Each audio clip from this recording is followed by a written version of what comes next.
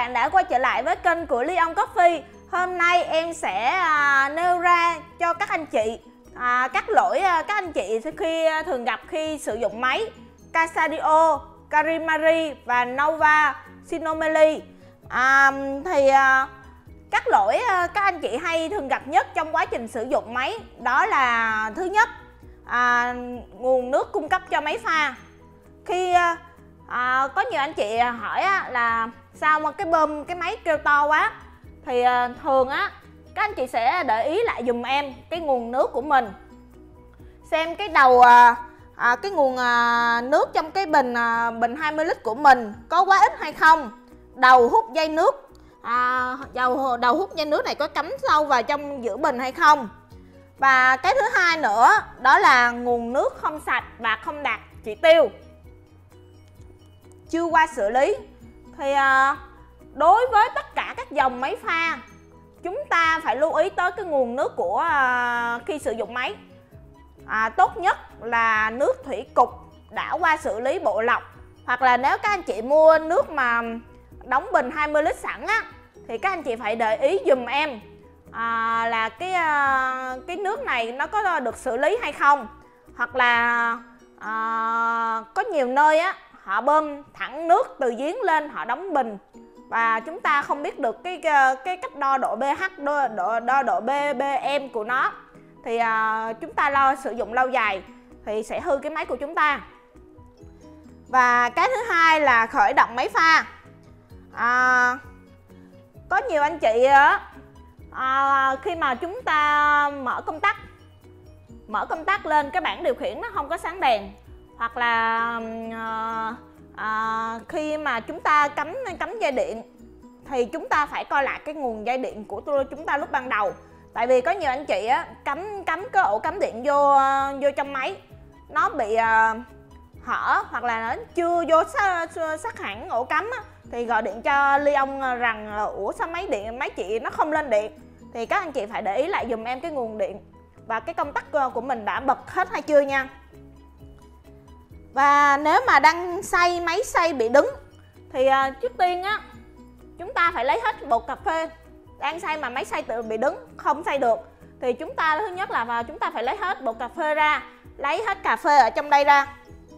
Lấy hết cà phê ở trong đây ra nha các anh chị. Và chúng ta xem trong cái trong cái máy xay của chúng ta có dị vật hay không. Xem trong ở ở trong đây nè các anh chị trong ờ, xem trong đây là có dị vật hay không. Hoặc là độ say của các anh chị quá mịn, thì khi chúng ta đề ba máy nó sẽ không say được nha các anh chị. Và thứ tư là chảy nước ở phía dưới máy pha. Thì giống như cái clip hướng dẫn vệ sinh, em có nói sơ về các anh chị, là trong quá trình mình à, vệ sinh máy và cái cái đường ống nước của mình nè, đường ống nước xả của mình, nó bị chênh lên, nó bị chênh cao lên như thế này thì vô tình là cái nước nó sẽ ờ, động lại ở giữa thân ống và nó chảy ngược vào. Khi mà nước ở trên cái ờ, cái hố chậu này nó quá đầy thì nó sẽ gây tràn ngược ra. Thì ờ, cái lúc này để xử lý như thế nào á? Thì đối với dòng dòng máy Casadio à, Carimari và Nova Sinomeli thì à, lúc đó chúng ta chỉ có việc là điều chỉnh lại cái đường ống ống nước xả cho nó nằm nằm dấp xuống để cái nước cái đầu à, đầu à, đầu xả này nó cao cái ống này nó nằm dấp xuống thì đường nước nó mới chảy được nha các anh chị. À, và cái điều thứ năm mà đa số các anh chị hay gặp nhất đó là bị bị à, giật điện khi nhẹ. Cái cái cái điện giật này nó nhẹ thôi nhưng mà khi mà chạm vào các anh chị sẽ mang tâm lý hoang mang và hoảng sợ. Thì lúc đó cái điều đầu tiên á và cái cách xử lý đầu tiên á đó là các anh chị sẽ đổi cái chiều phích cắm. Đây các anh chị.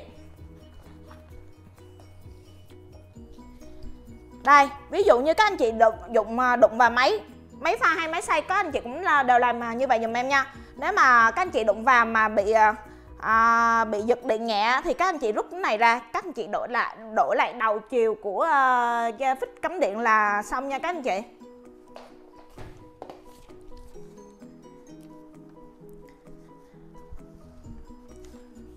Và đó là những cái bí quyết trong quá trình chúng ta sử dụng máy.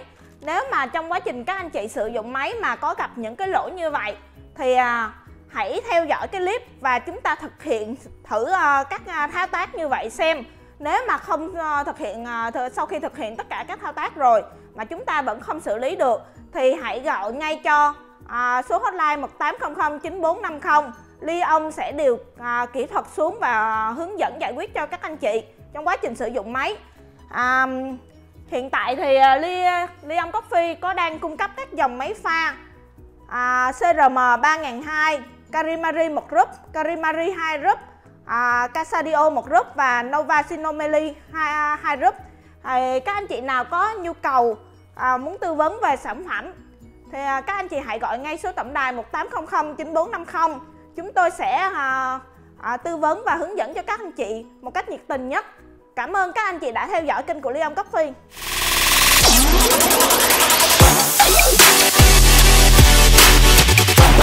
Yeah.